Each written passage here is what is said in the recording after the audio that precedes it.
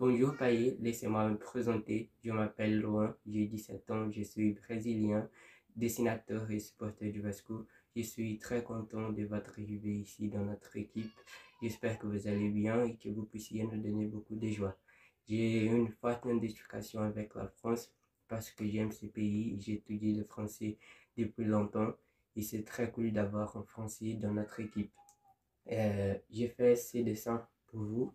J'espère que ça vous plaît et que, et que ça vous plaît. Et merci pour accepter ces, ces défis ici au Vasco. Et au revoir.